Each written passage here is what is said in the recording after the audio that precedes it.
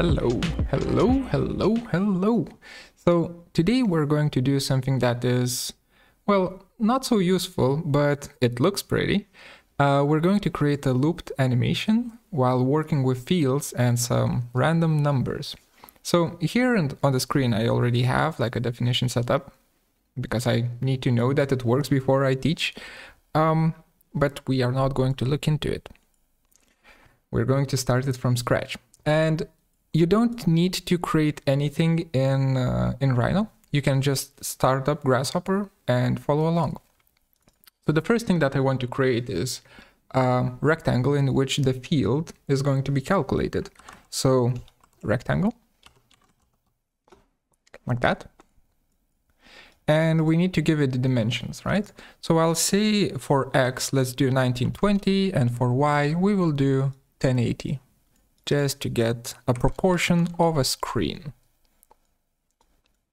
To keep things neat and dandy.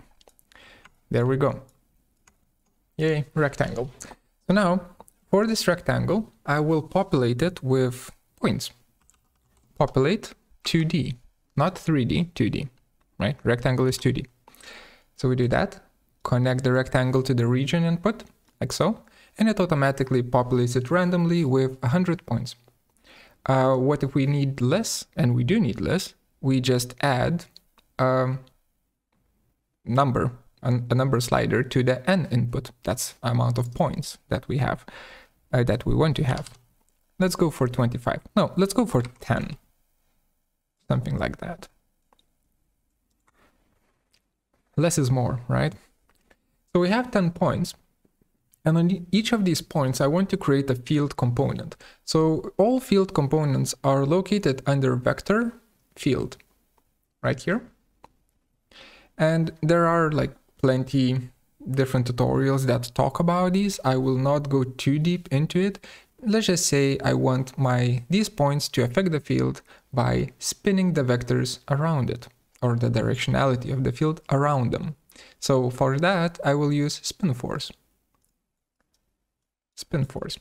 There we go. Spin force asks us to give it a plane. In this case, we just give it a bunch of points and it will figure out that the points are flat or the plane on the points is flat on the ground, meaning it will just place an XY plane on each point. So we don't need to translate points into planes before plugging this in. That's nice. Then we do strength. So or rather, let's skip strength for now. Let's have it uh, strength set to 1 for all of them. Uh, we will come back to strength in just a second. Before uh, we continue, let's do radius instead. So for radius, I will do like 200, I guess. And we can even go further. Just make them overlap, 290, that's fine. Then decay and bounce, we don't really care about those. We will ignore them. Okay, so we have created 10 fields. For each spin force, there is a field that is created. What are fields? Uh, don't worry about it. Let's just continue. Those 10 fields need to influence one another, and we need to extract one added up field from all 10 of these, right? So a handy node that does that is called merge fields. There we go, merge fields and we connect it like so. Now the output is a single field where all of these spin forces are added up and we get the final, final field from them. All right, so now how do we actually use the field? Well, we use it with evaluate field node, which asks us to give it a field to evaluate the, so we give it the merge fields, and it asks us to give it a point to evaluate the field at. So for points, we need, well, I guess we need to populate the rectangle again, but this time with more points. So I will use populate 2D again. You can do a grid as well if you want to, but I prefer to have it kind of random. Populate 2D, connect rectangle to the R input, and thus it gives us 100 points here, right? So we can increase that amount to 200 just to have more. And now we have 200 points. Uh, one thing is that these two populates, they don't do random numbers every, different random numbers every time, different random positions for the points every time. They are pseudo-random, meaning that they work with seeds. So as long as two seeds are the same, some points will overlap between this populate 2D and this populate 2D. We can't have that. We need to add a different number to the seed here. The one that I like to use is 666. I don't know. no, there's no reason for it, honestly. You can use any any any number you want. 523 seems good. Okay, so we have our 200 points and we have our field, right? So we're going to evaluate the field that is created here on those or through those 200 points. Just connect like that. That is it. The output that we get is a tensor. Tensor is a vector basically, don't worry about it. It is a vector, right? So it has directionality. So I can visualize it by drawing a line, SDL, line from start, direction, length. The start point of the line is uh, the line is going to start from each of these points, right? So like that. Then the direction of the line is going to be driven by the tensor, by the vector, right?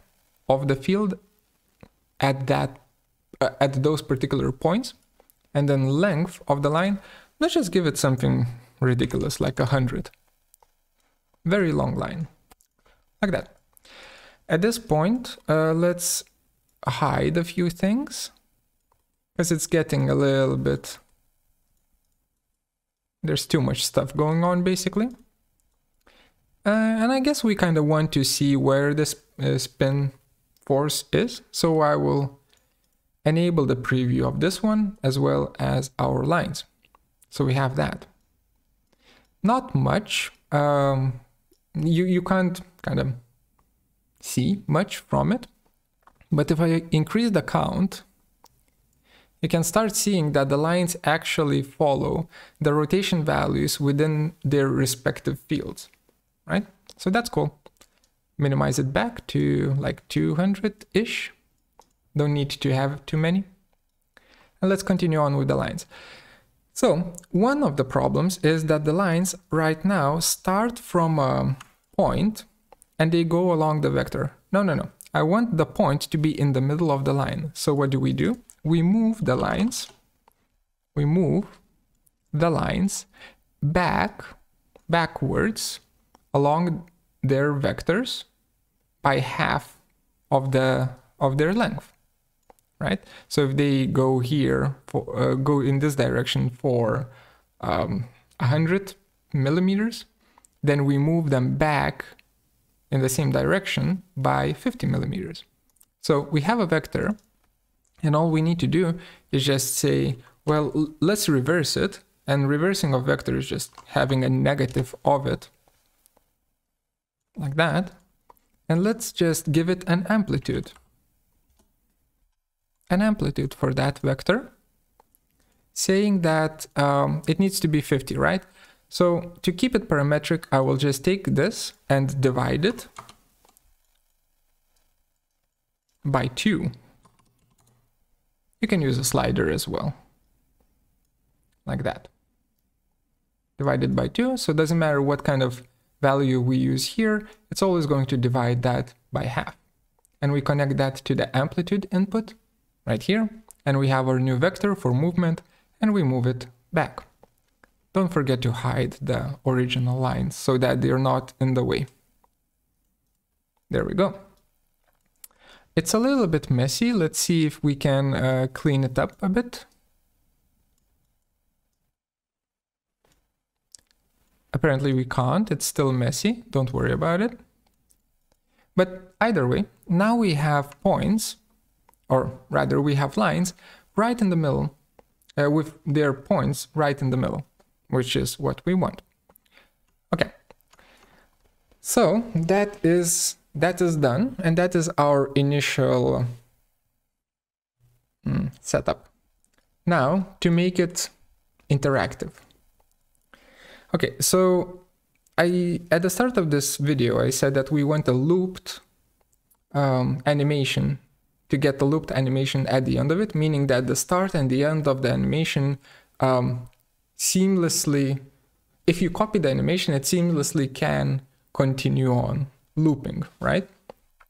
So we will need to use, in one way or the other, we will need to use sinus. Or, sorry, cosinus. Cosine. Like that. Because if you do a cosine, let's just look at the panel. And you hook up, um, I don't like radians, uh, so I'll just use radians node here. Hook it up like so.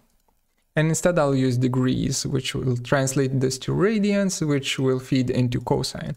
And for radians, we use 0 dot dot 360 right? That's the that's the degrees, the range of degrees that we will use. Very important that the slider goes between 0 and 360. And you can see as I move the slider, at 0 it's 1, then it then it goes until where is it? Come on.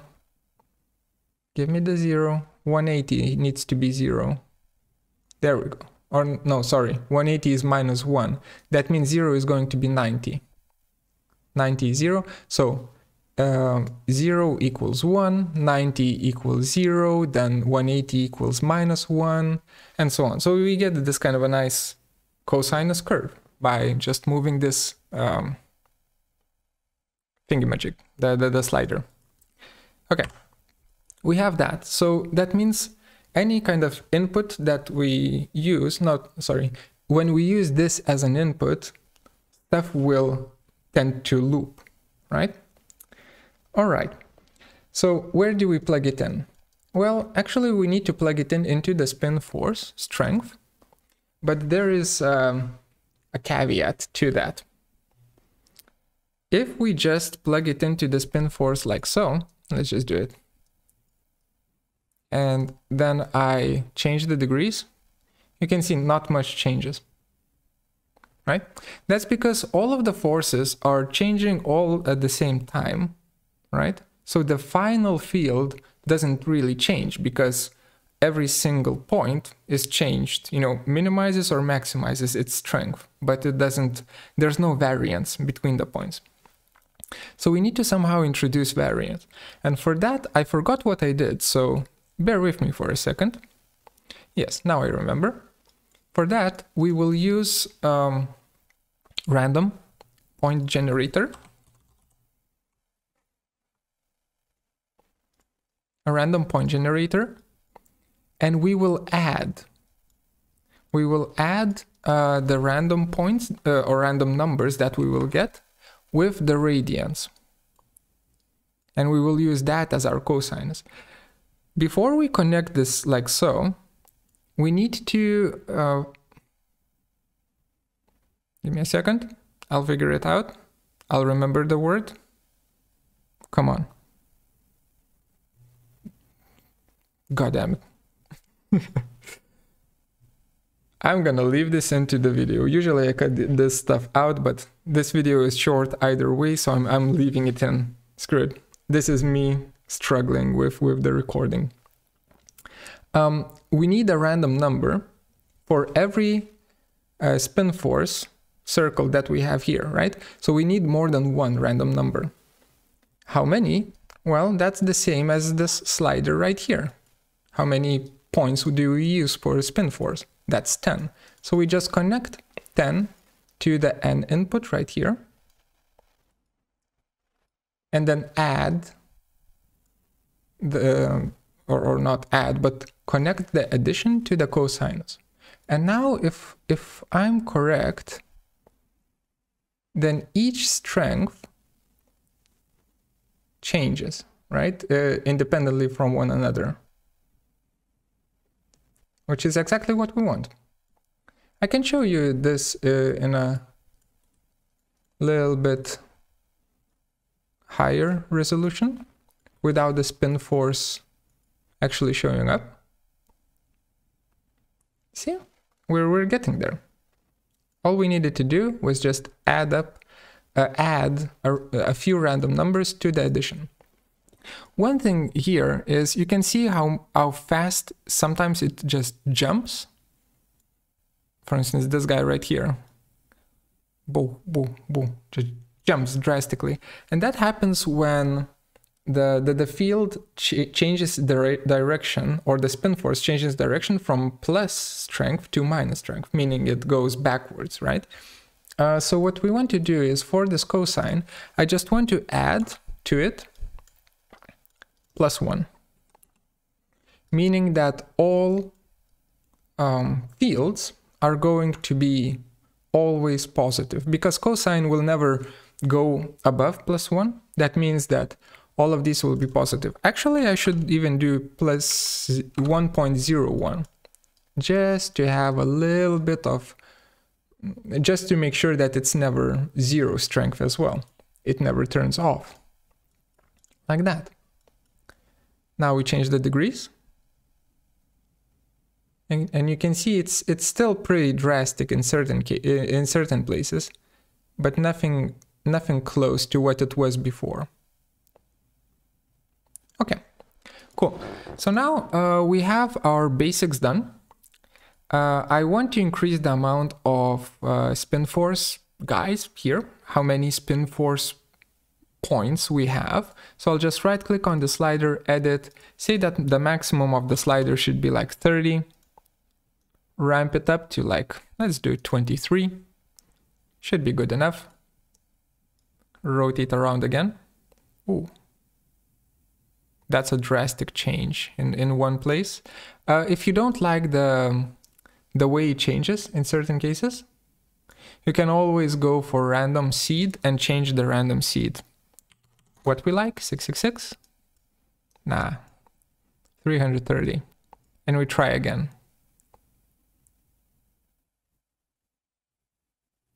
Yeah, that seems cool. Okay, so we are done with this portion. Now, Let's make it pretty. Now it's time to make it pretty. So for these points or for these lines, we want to add a certain thickness to them and we want to create basically a box, right, from them. So the fastest way of how to make boxes that don't crash your computer is through creating a mesh, right? So I'm going to say, we have these lines, let's offset them. Offset curve. Let's offset these lines and let's offset each line individually. Apologies. That means I need to right click on the move output and choose graft. This will place each line in its own data branch so they don't they don't see each other anymore if that makes sense. They are in their own little packets in their own little branches.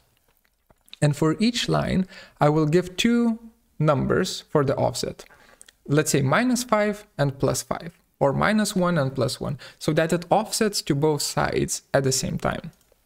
So let's do a slider 5 and let's get a negative of that slider negative 5 and let's just feed them in uh, holding the shift key negative and the positive.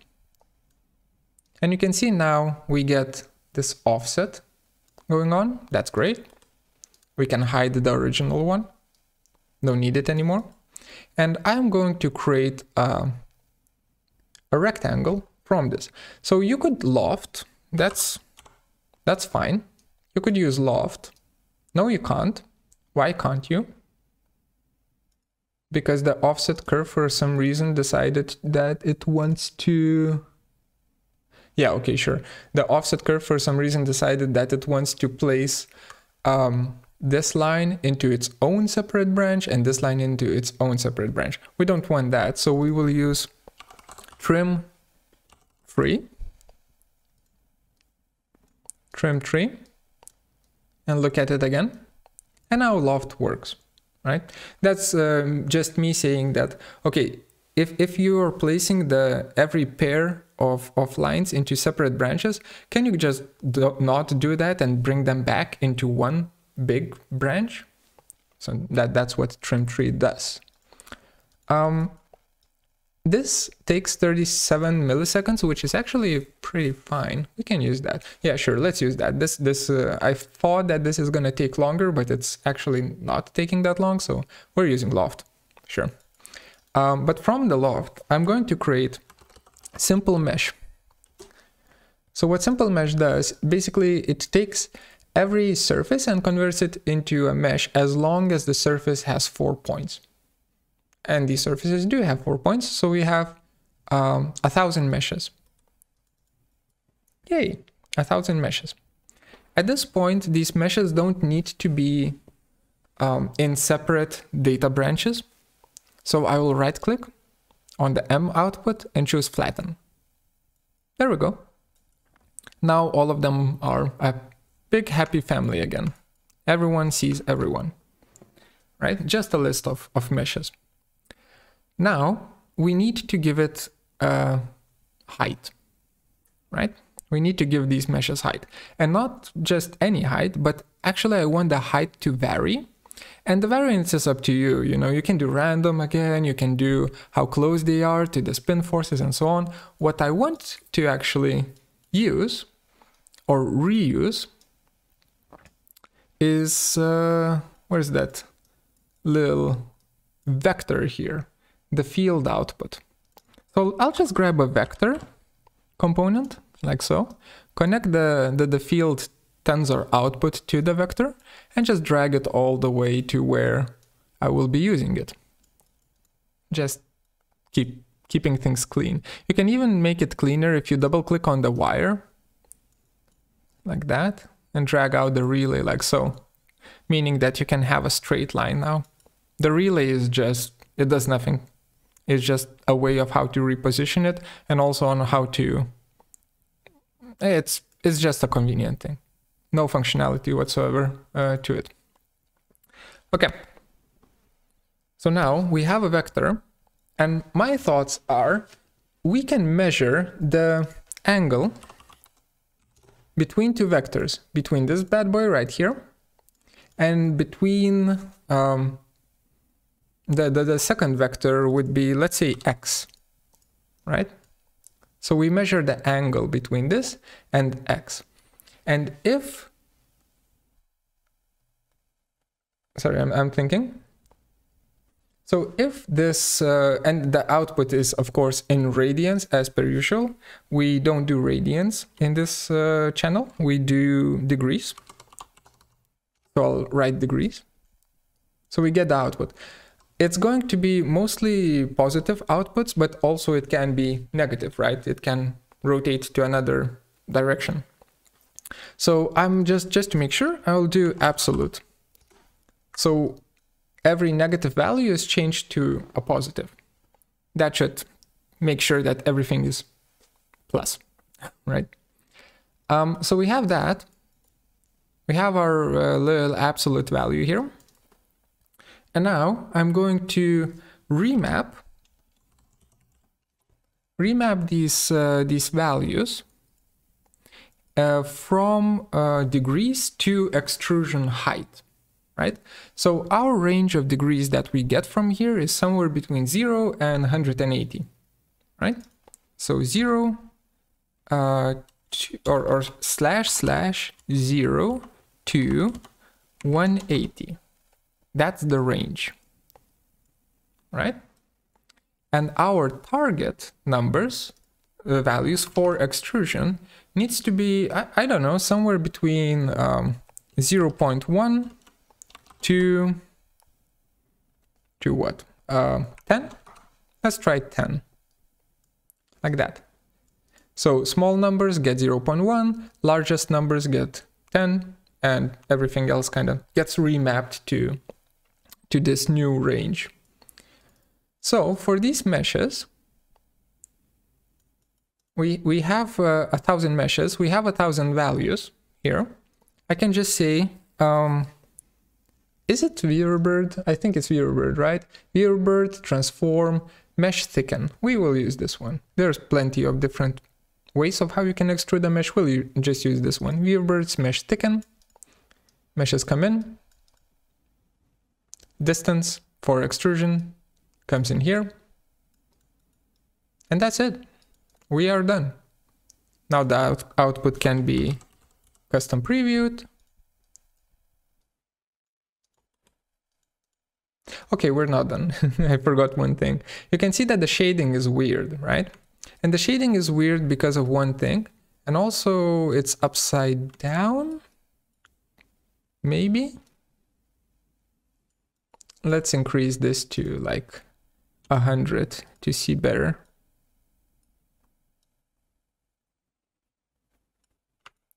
It's a little bit weird. Ain't gonna lie.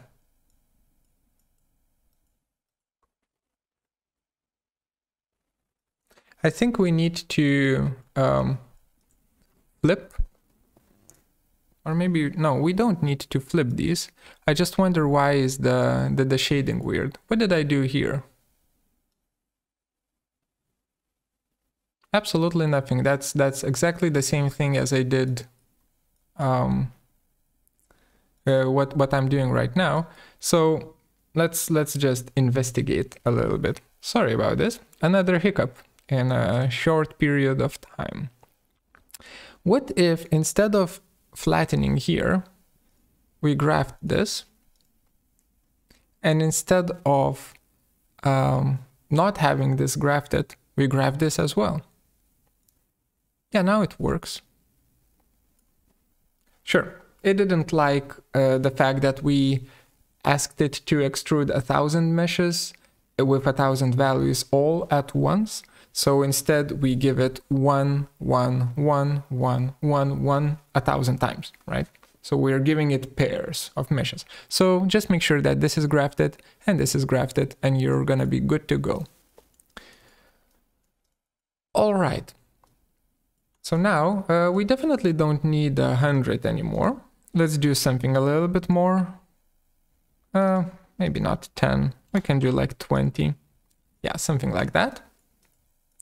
Let us also fix the shading. Again, the shading is weird. So um, it's welded, meaning it doesn't understand. It's trying to shade it as if everything is a sphere. Uh, we don't want that. So we're going to do unweld, unweld mesh. That should immediately fix it. Yep, does the trick. Now everything is a pretty nice stick. That's cool. And we are done. That's it. We go to Arctic view, let's say. Oh yeah, this is being previewed. No, we look at the old, uh, uh, at the new one. And the Arctic pre preview looks like that. If I change the degrees slowly, you can see that the waves change. And some become bigger, some become smaller. It's just nice. Okay. Let's increase. Uh, by the way, every time when you look at something and it's, oh, it doesn't look that great, just increase the resolution. It's gonna make it look nice. So instead of a thousand points, I will use 5,000. Bam. And by bam, I, I mean, wait, there we go, bam. 5,000 points. Cool, huh? That's it. Then you can uh, you can change the length of the line. Let's say if you just use 20, then it becomes, you know, just these boxes. So make sure that you use like a a decent decent amount like 80 or something like that to get a nice sticks. Uh, then for the offset if you use something low it's going to be a little bit more hairy. If you use something big you're going to get this aesthetic. So you can get uh, a lot of different aesthetics i say I, i'd say. Um and that's that. So now to animate this and to actually get the looped animation, all you need to do is just position your camera nicely, like that. Um, not like that, like that. Perfect. And then you right click on the degrees slider, choose to animate, say to which folder you want to save, um, give it a resolution at which you want to save, and give it a frame count. So usually it's 30 frames per second, meaning that this would run for 10 seconds. Or if it's 60 frames per second, it's gonna run for 5 seconds, right? You hit OK, and it's going to start uh, saving the files one after the other. I will not show that part here because it's quite demanding on the on the computer. But that is that. That is our tutorial. If you are lazy and didn't don't want to bother uh, following this, uh, then you can just become a Patreon supporter and get this tutorial uh, together with every single other tutorial blah, tutorial file together with every single other tutorial file that I did uh, previously uh, for free. Well, not for free because you're paying for the Patreon membership. But that's that's the price to pay for being lazy.